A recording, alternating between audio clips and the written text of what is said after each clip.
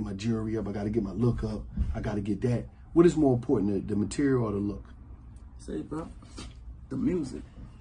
Fuck the material. That don't come. But it got to start with the music. The nigga could be shining like a motherfucker. If it's whack, it's whack. If, you know what I mean? Then you can have a nigga with no jewelry on and that music bumping and he still gonna outdo you.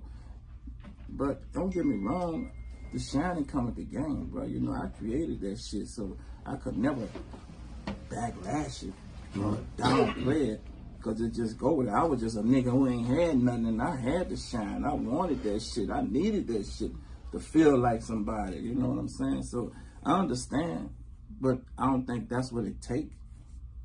That was a part of just a part of our life. I had to have that shit. But I don't think that's what it takes. So- it take the music. So the cat